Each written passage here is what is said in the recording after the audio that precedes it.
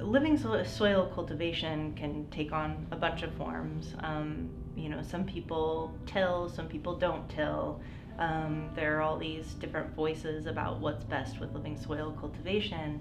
Um, but really, I think the beauty with all of those methods, and my own included, is that we're creating this beneficial probiotic microbial community. For the plants to live in.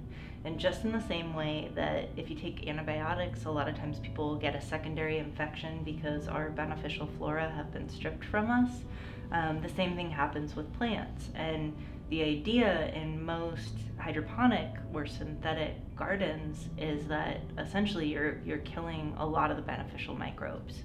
So everything that we feed our plants is with the goal of uh, enhancing the probiotic community.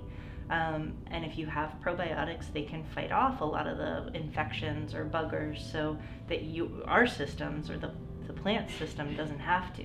So that's how we keep everything really healthy in the garden is because there's essentially an army of good guys on our side crawling through the soil in the form of uh, bacteria, fungi, protozoa, archaea, um, beneficial nematodes. Um, you know, we even we have like worms crawling through our soil. We got uh, little centipedes that'll you know cruise through the soil and, and eat decaying matter. And when they excrete, when they poop, or when they die, they give all those nutrients, almost like a nutrient battery, back to the soil and its microbes.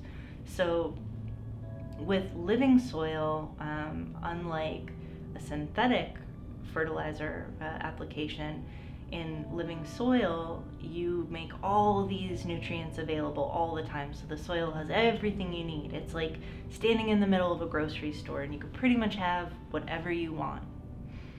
Now, in synthetic cultivation, the nutrients are already chelated, so they are immediately avail- available for the plant. The plant doesn't have to do anything.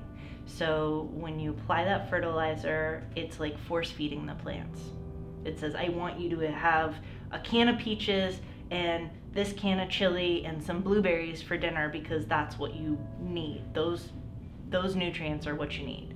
With organic cultivation, you're providing all the supermarket for the plant and then the plant will actually exude little sugars and carbohydrates and ask microbes to give them nutrients. So it says, so the plant's standing in the middle of the supermarket, we're going with that analogy, and the plant says, you know what, I don't want the can of peaches and chili today. I'd like to have sushi. So it exudes a little bit of sugar, and then it's interacting with a microbe who has some sushi. It absorbs that, it takes it up, it says, that's good.